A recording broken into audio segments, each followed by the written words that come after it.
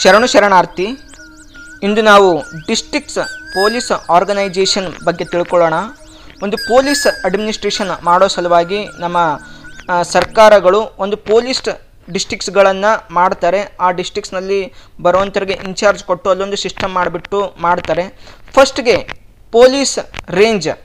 Police range ಅಂತಂದರೆ ಈ police ರೇಂಜ್ನಲ್ಲಿ ನಾಲ್ಕು ಅಥವಾ ನಾಲ್ಕಕ್ಕಿಂತ ಹೆಚ್ಚು ಪೊಲೀಸ್ ಡಿಸ್ಟಿಕ್ಗಳು ಈ ಅಂಡರಲ್ಲಿ ಬರುತ್ತೆ. ಮತ್ತು ಈ ಪೊಲೀಸ್ ಡಿಸ್ಟಿಕ್ಗಳು ಯಾವ ರೇಂಜ್, ಎಷ್ಟು ರೇಂಜಲ್ಲಿ ಇರ್ತವೆ ಅಂತಂದಾಗ ಏನು ರೆವೆನ್ಯೂ ಡಿಸ್ಟಿಕ್ಸ್ಗಳು ಬೌಂಡರೀಸ್ ಆಫ್ ರೆವೆನ್ಯೂ ಡಿಸ್ಟಿಕ್ಸ್ ಇರ್ತವೆ, ಆ ಒಂದು ಬೌಂಡರೀಸ್ಗೆ ಈ ಪೊಲೀಸ್ ಡಿಸ್ಟಿಕ್ಸ್ ಬೌಂಡರೀಸ್ಗೂ ಕೂಡ ಕೋ ಇನ್ಸೈಡ್ ಆಗುತ್ತೆ. ಅಂದರೆ police districts is equal to the boundaries of revenue districts ಅಂತೇಳಿ ಅರ್ಥ.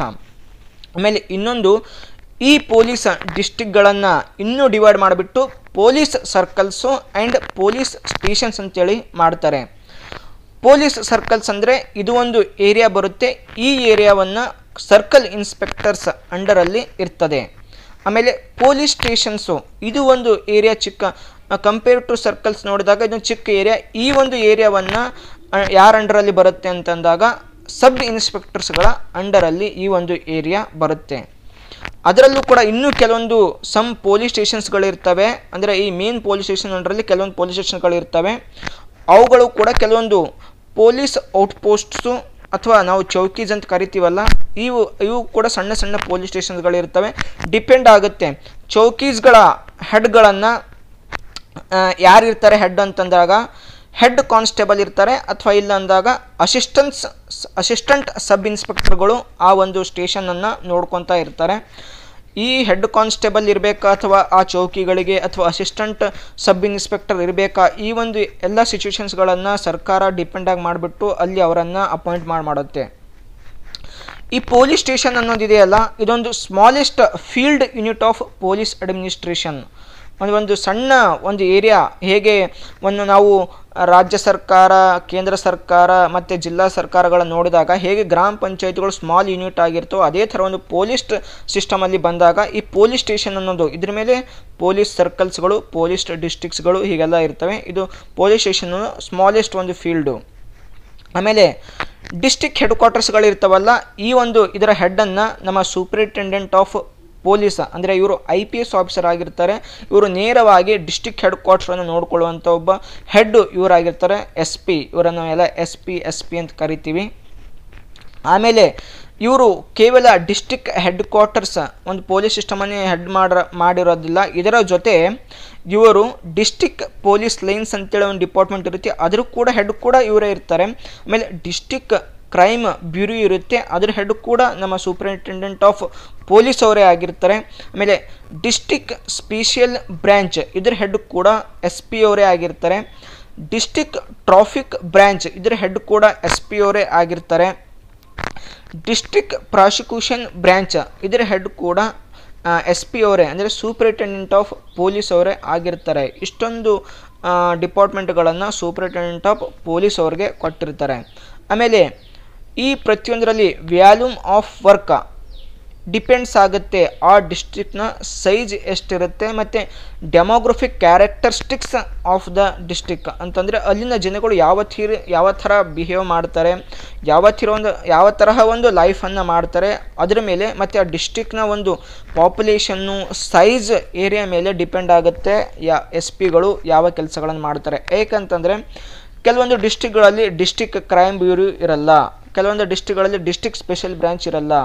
ಇವು ಯಾವ ಒಂದು ಡಿಸ್ಟಿಕ್ಗೆ ಅನ್ವಯ ಆಗುತ್ತೋ ಅಲ್ಲಿ ಕೂಡ, ಅಲ್ಲಿ ಇದೊಂದು ಬ್ರ್ಯಾಂಚ್ಗಳನ್ನು ಸಪ್ರೇಟ್ ಬ್ರ್ಯಾಂಚ್ಗಳನ್ನು ಮಾಡಿರ್ತಾರೆ. ಇದೊಂದು ಸಿಸ್ಟಮ್ ಈ ಥರ ಆಮೇಲೆ district determines the size of the police network ಏನಪ್ಪ, ಎಷ್ಟು ಎಲ್ಲದಕ್ಕೂ ನೆಟ್ವರ್ಕ್ ಬೇಕಾಗುತ್ತೆ ಕಂಪ್ನಿಗಳಲ್ಲಿ ನೋಡಿದಾಗ. ಅದೇ ಥರ ಪೊಲೀಸ್ ಸಿಸ್ಟಮಲ್ಲಿ ಕೂಡ ಒಂದು ಪೊಲೀಸ್ ನೆಟ್ವರ್ಕ್ ಅಂತಿರುತ್ತೆ. ಆ ಪೊಲೀಸ್ ನೆಟ್ವರ್ಕ್ ಸೈಜ್ ಕೂಡ ಆ ಡಿಸ್ಟಿಕ್ ಮೇಲೆ ಡಿಪೆಂಡ್ ಆಗುತ್ತೆ.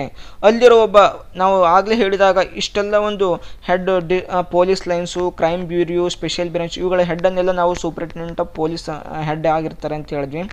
ಅಲ್ಲೂ ಕೂಡ ಇಷ್ಟೆಲ್ಲ ಫಂಕ್ಷನ್ಗಳೆಲ್ಲ ಪ್ರತಿಯೊಂದು ಡಿಸ್ಟ್ರಿಕ್ನಲ್ಲಿ ಇರೋಲ್ಲ. ಆ ಡಿಸ್ಟ್ರಿಕ್ನಲ್ಲಿ ಯಾವ, ಎಷ್ಟು ಸಂಬಂಧಪಟ್ಟಿರುತ್ತೆ ಅಷ್ಟನ್ನು ಒಂದು ಆ ಫಂಕ್ಷನ್ಸ್ ಆಫ್ ಎಸ್ ಪಿ ಇದು ಕೂಡ ಒಂದು ಡಿಸ್ಟಿಕ್ ಅದೇ ಡಿಸ್ಟಿಕ್ ಒಂದು ಸೈಜ್ ಮೇಲೆ ಡಿಪೆಂಡ್ ಆಗುತ್ತೆ. ಈ ಒಂದು ಎಸ್ ಪಿ ಅವರು ಸೂಪರಿಂಟೆಂಡೆಂಟ್ ಆಫ್ ಪೊಲೀಸ್ ಅವರು ಡೈರೆಕ್ಟ್ ಆಗಿ ಅಡ್ಮಿನಿಸ್ಟ್ರೇಟರ್ ಸೀನಿಯರ್ಸ್ ಮತ್ತು ಸ್ಟೇಟ್ ಹೆಡ್ ಕ್ವಾರ್ಟರ್ಸ್ಗೆ ಒಂದು ಕನೆಕ್ಷನನ್ನು ಲಿಂಕನ್ನು ಹೊಂದಿರ್ತಾರೆ. ಇದಿಷ್ಟು ಒಂದು ಪೊಲೀಸ್ ಸಿಸ್ಟಮ್ ಡಿಸ್ಟಿಕ್ ಲೆವೆಲಲ್ಲಿ ಬರುವಂಥ ಇದೊಂದು ಪೊಲೀಸ್ ಸಿಸ್ಟಮ್ ಆಗಿದೆ. ಈಗ ಇನ್ನೊಂದು ಸಲ ನಾವು ಕ್ಲಿಯರ್ ಆಗಿ ತಿಳ್ಕೊಳ್ಳೋಣ.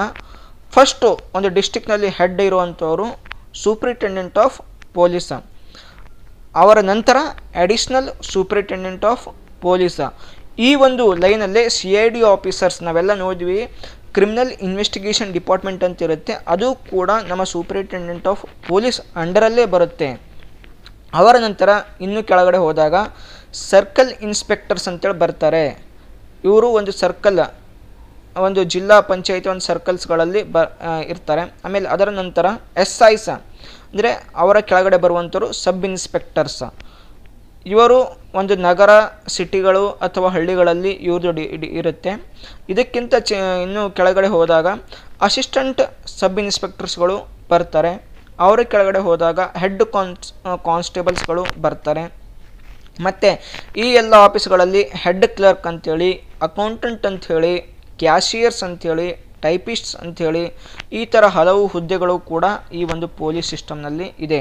ಇದಿಷ್ಟು ನಾವು ಇವತ್ತು ತಿಳ್ಕೊಂಡಿದ್ದು ಕೇವಲ ಡಿಸ್ಟಿಕ್ ಪೊಲೀಸ್ ಆರ್ಗನೈಜೇಷನ್ ಹೇಗಿರುತ್ತೆ?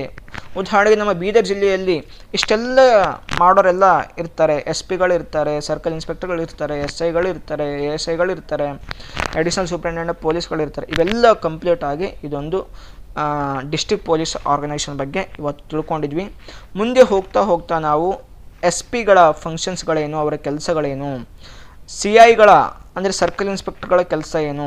ಎಸ್ ಐಗಳದು ಎ ಎಸ್ ಐಗಳದು ಹೆಡ್ ಕಾನ್ಸ್ಟೇಬಲ್ಗಳದು ಇವೆಲ್ಲ ಅವರ ಕಂಪ್ಲೀಟ್ ಆಗಿ ಅವರ ಫಂಕ್ಷನ್ಸ್ಗಳೇನು ಅವರ ಪವರ್ಸ್ಗಳೇನು ಬಗ್ಗೆ ತಿಳ್ಕೊಳ್ಳೋಣ. ಶರಣು ಶರಣ.